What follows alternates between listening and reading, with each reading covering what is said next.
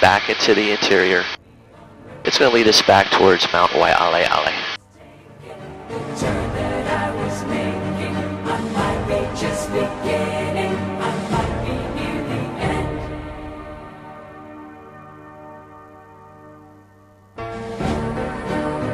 So the island obviously does get a lot of rain.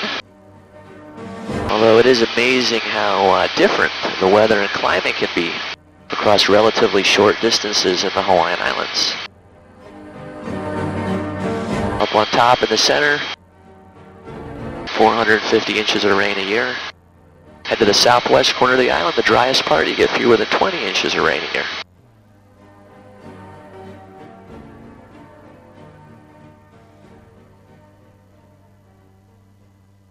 So up ahead at your 1 o'clock, rising up into the clouds, that's Mount Waialeale.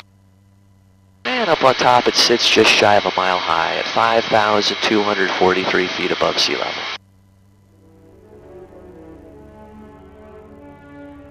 All the water that collects up on top radiates out, feeding many of the island's river streams and waterfalls, and as the water works its way out towards the ocean, it continues the erosional process. That's carved up the flanks of this extinct volcano,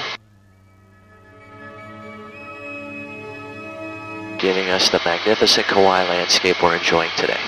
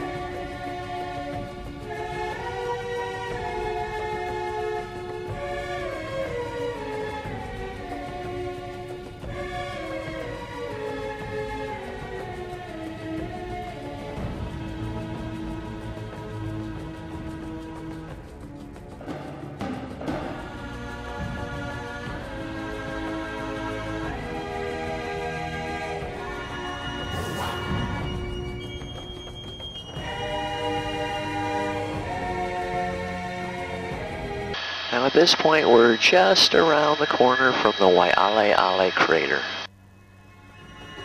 One of the final eruptions here, about half a million years ago, blew open the east face of the volcano, and the crater was formed.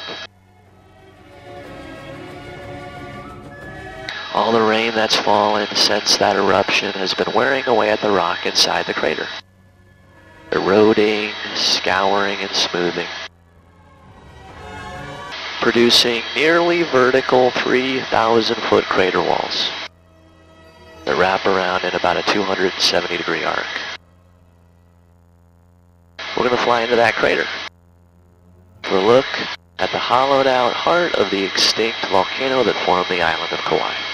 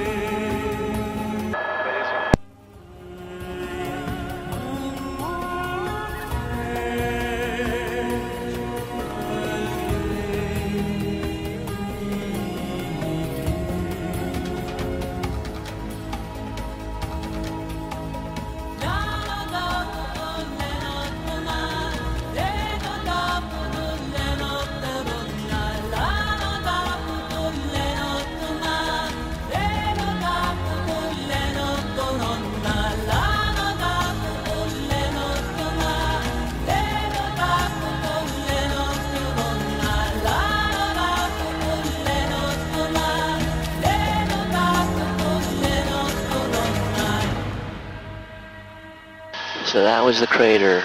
The heart of the volcano, essentially the birthplace of Kauai. Lava used to erupt from the crater. Those flows piling up and building the island layer by layer.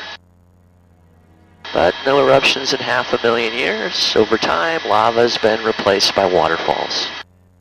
And what was completely barren and lifeless lava rock has transformed into paradise.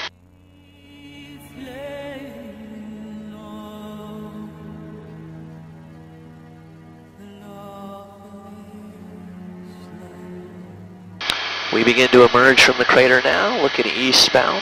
The east side of the island is the center of mass of Kauai when it comes to its resident population. Three main communities on the east side. Off at our 10 o'clock is Kapa'a. At our 11 o'clock, Wailua. And up at our 12 to 1 o'clock, Lihue. And there's only about 72,000 Kauai Island residents. The state of Hawaii has a population of about 1.5 million. Eight islands make up the state, two-thirds of the population is found on Oahu. That's the big city part of the state of Hawaii. Oahu, where you find Honolulu and Waikiki, and more than a million residents. Over there, the city. Here on Kauai, definitely the country with a mere 72,000. The magic of the garden. I gotta start dealing with air traffic control. I'm gonna take myself off the intercoms for a minute or two. You guys feel free to talk to each other if you like, and I'll rejoin you shortly. I left my home looking for a new start to find a place that's better still. Now I know, I know I never will. Hanalei Bay, Wailua River Valley is where I used to play. The canyons of Waimea, standing all alone. The magic of the garden